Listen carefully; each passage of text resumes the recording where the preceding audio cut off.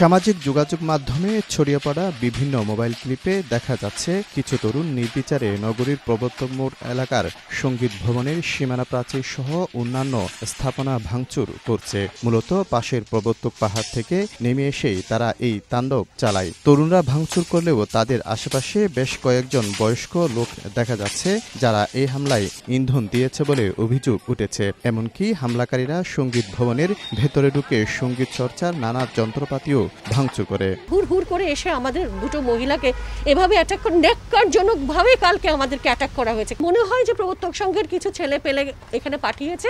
আমরা অত্যন্ত ইনসিকিউরিটিতে ভুগছি।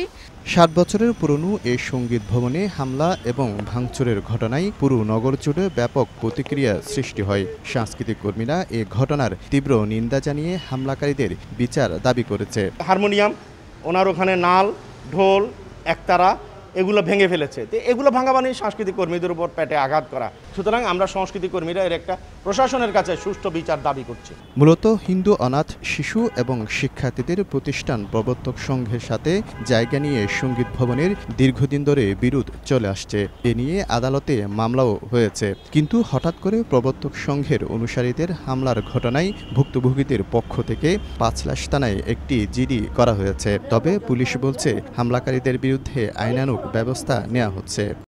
অনেকগুলো ছেলে পেলে একসাথে এসে এই ধরনের একটা ভাঙচুর করছে। খুব নিন্দনীয় একটি ঘটনা। এই ঘটনাটি যথাযথ আইনের ব্যবস্থা গ্রহণ করা হবে এই ব্যাপারে। ব্রিটিশ বিরোধী আন্দোলনের অংশ হিসাবে প্রতিষ্ঠা করা হয়েছিল এই প্রবর্তক সংঘ, আর চট্টগ্রামের সাংস্কৃতিক চর্চাকে এগিয়ে নিতে সাত বছর আগে প্রতিষ্ঠা করা হয় এই সংগীত ভবন। শফিকুল আলম, সময় সংবাদ, চট্টগ্রাম।